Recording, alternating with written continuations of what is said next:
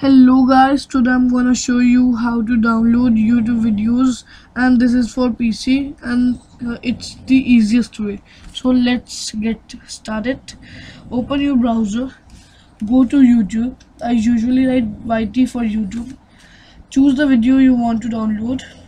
I'm choosing this one Meruthon and then go to the top of the url base where you usually write URLs and write double S in small letters in front of Y and click enter.